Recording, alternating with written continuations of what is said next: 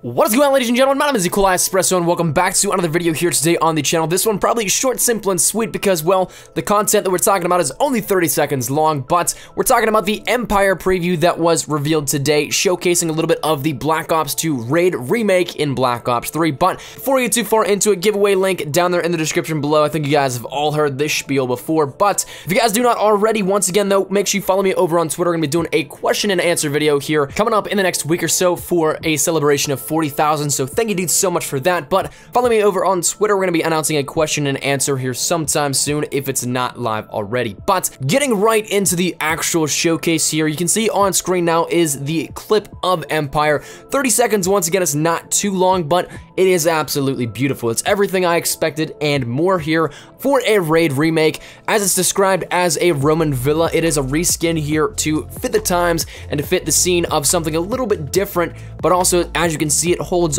all of these same characteristics. It doesn't seem like anything has been really remade or anything's really been tailored too much to change a little bit. Yes, there's gonna be some adjustments here for the movement system, but I don't expect too much because Raid was one of those ones where there was looking back at it, you could probably see some wall running spots, some cool different ledges you could jump up on top of, things like that. It doesn't look like it's changed too much, which is really nice here. Seems like just a reskin, but it is something that I'm very much so looking forward to here.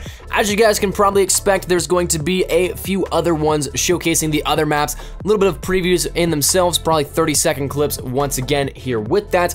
Coming in the next week or so. It's a little bit different as to when these probably will release. We might get them daily leading up into the next few days, as in today, Friday, then Saturday, Sunday, and Monday. That's a possibility, but it might be spread out a little bit more here because last time we actually saw these leading right up into the launch of the DLC. So we'll see what this brings here, but nonetheless, I'm excited for Empire, the Raid remake in Black Ops 3. I'd love to hear your thoughts down there in the comment section down below. Are you guys hyped for this map? And if so, is it what you're most hyped for out of DLC 3 and the maps that are coming with it? Love to hear your thoughts. Thank you dudes so much for watching. If you guys liked the video, be sure to like rating down below. If you guys are new to the channel, make sure you subscribe. We're on that road to 50,000 subscribers. So every little bit does help and is of course greatly appreciated. But mine has been eColi Espresso. I'll see you guys later. Take care and peace.